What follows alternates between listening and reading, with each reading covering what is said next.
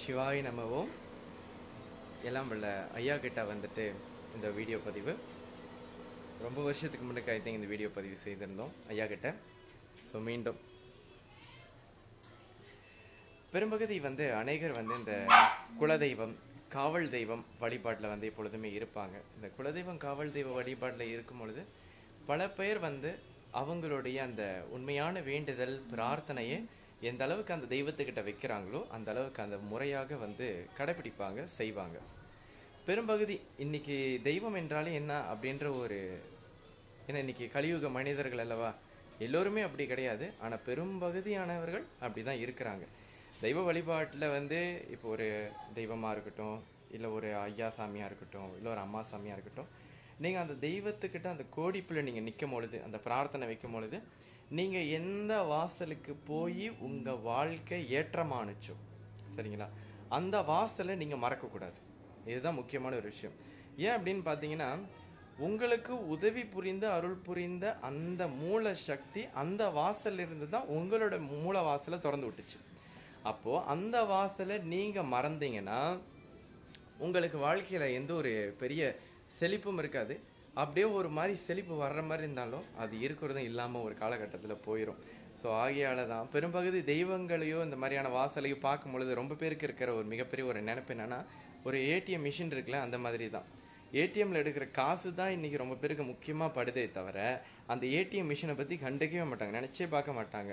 So அதே மாதிரி தான் ஒரு வாசலுக்கு போய் நமக்கு நடக்கிற நன்மை இந்த இடத்துக்கு போகிறோமா அவர் மூலிமா நமக்கு இந்த நல்லது நடந்தால் போதும் அப்படின்னு சொல்லி தான் இன்னைக்கு பெரும்பகுதி ஒரு கூட்டமே இருக்காங்களே தவிர நம்ம அந்த வாசல் போகணுமே நம்ம வாழ்க்கை இன்னைக்கு சிறப்பானுச்ச அந்த சந்நிதியில் இருக்கிற அந்த தெய்வ சக்தி எப்படி இருக்காங்க அவங்களுக்கு எல்லாம் அங்கே முறையாக போயிட்டுருக்கா நம்மளால் ஆனது என்ன செய்யலாம் அப்படின்ற அந்த கோடிப்பு அந்த நினைப்பு ரொம்ப பேருக்கு இருக்கிறதில்ல ஸோ அந்த நினைப்பையும் நீங்கள் கொஞ்சம் வளர்த்துக்கிட்டு உங்களை வளர்த்து விட்ட இடத்தையோ சரி ஏறி வந்த ஏனியோ சரி என்றைக்குமே கொஞ்சம் நினச்சி பாருங்கள் அன்றைக்கி தான் உங்கள் வாழ்க்கை வெளிச்சமாக இருக்கும்.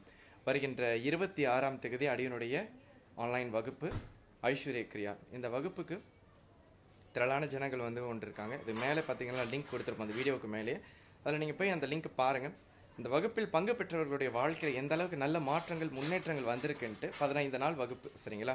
இதுக்கு நீங்கள் எங்கேயும் வர வேணாம். உங்களுடைய இருக்கிற இடத்துலையும் நீங்கள் இருக்கலாம்.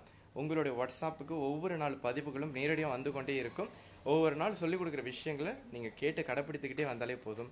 உங்கள் வாழ்க்கை ஒரு மிகப்பெரிய ஒரு மாற்றம். இந்த வகுப்பில் இருக்கிற ஒரு அம்மாவுக்கு வகுப்புக்கு வர்றதுக்கு முன்னாடி அவங்க வகுப்பில் சேர்றதுக்கு கூட பணம் கிடையாது. தற்கொலை பண்ணிக்கணும் அப்படின்ற ஒரு மனோபாவத்தில் இருந்தாங்க. ஆனால் இன்னைக்கு இறைவனுடைய நாமத்தில் இன்று காலையில் அடியின்ட்டு வந்து சொன்னாங்க இந்த மாதிரி அவங்க கணவருக்கு வந்துட்டு ஒரு மிகப்பெரிய ஒரு ப்ராஜெக்ட் கிடச்சி அவன் வாழ்க்கையில் எதிர்பாராத ஒரு நல்ல ஆசீர்வாதம். அப்போது இதுலேருந்து என்ன தெரியுங்களா? தெளிவாக தெரியுது.